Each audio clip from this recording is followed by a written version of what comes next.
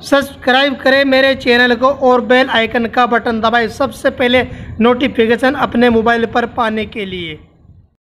वालेकुम नमस्कार, आप सभी दोस्तों का स्वागत है हमारी वीडियो में।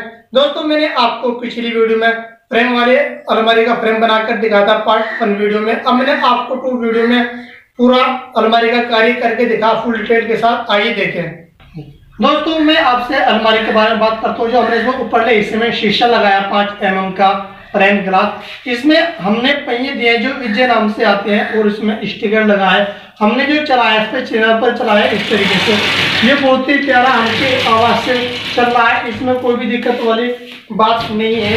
दोस्तों, हमने हमने जो ये शीशा लगाया है ऊपर तरफ़ फ्रेम वाली अलमारी में, ये आपकी स्मट की अलमारी है। इसमें आप बच्चों के, प्यारे प्यारे बच्चों के खेल खिलौने रख सकते हैं आप उपहार आदि वगैरह भी दिखा सकते हैं। उसके बाद मैं आपसे बात करूँगा नीचे तरफ़। इसमें हमने ये जो पल्ला चढ़ा, इसमें कपट, इसमें आप अपने तय कर कपड़ों की रख सकते हैं, घर का सामान, बैग, अटैच वगैरह भी रख सकते हैं।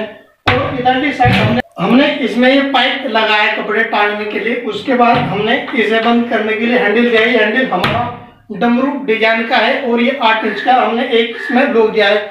ऊपर नीचे हमने इसमें मैग्नेट कैचर दिया है। इसके बाद मैं आपसे बात करूँगा नीचे के हिस्से की।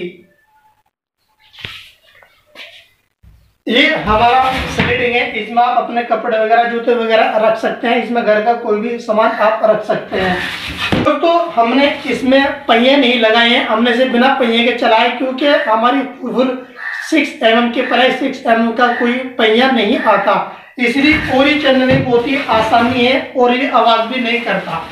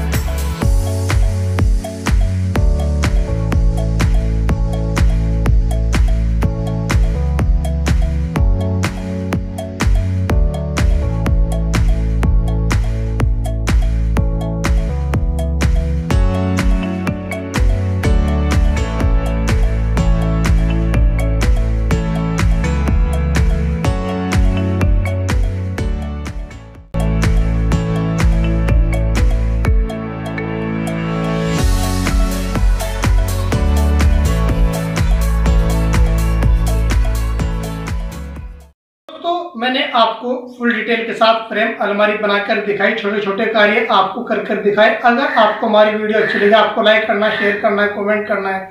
और अगर आप चैनल पर नए हैं, हमारे चैनल को सब्सक्राइब करें। तो तो अगर आप मेरे से जुड़ना चाहते हैं, आप इंस्टाग्राम पर फॉलो करें, मैं आपका तुरंत उसमें जवाब दूँगा और पूरी पूरी जानकारी दूँगा। मिलते हैं दोस्तों आपसे अगली वीडियो में, जब तक के दी जाए धन्यवाद।